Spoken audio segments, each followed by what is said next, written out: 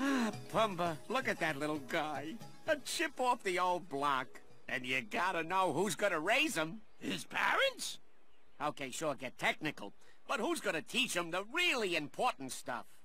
Like how to belch. and dig for grubs.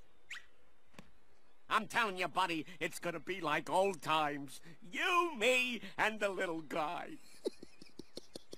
It is a girl. Girl! Girl! Oi!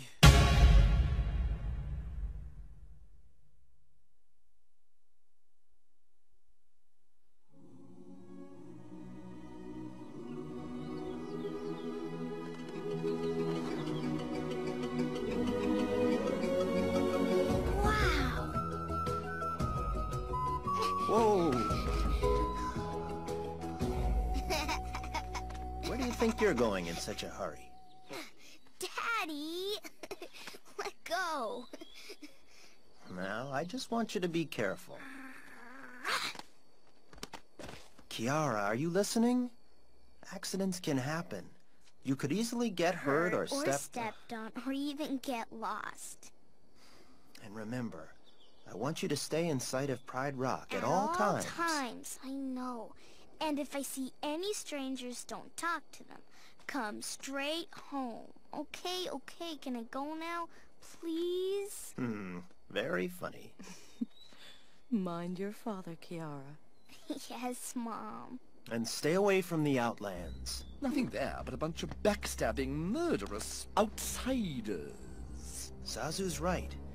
You can't turn your back on them. Really? How come?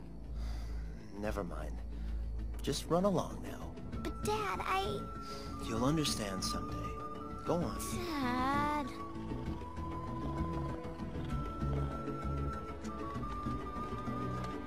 And stay on the path I've marked for you. Simba.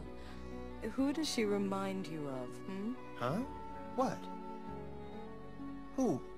She's just like you were when you were young. Exactly. Do you realize the dangers we put ourselves in? You mean the dangers you put us in?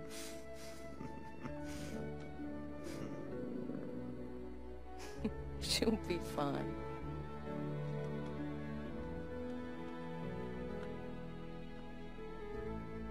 Hey, Timon, Pumbaa, come here. Good morning, Mon Capitan. I want you to keep a close watch on Kiara.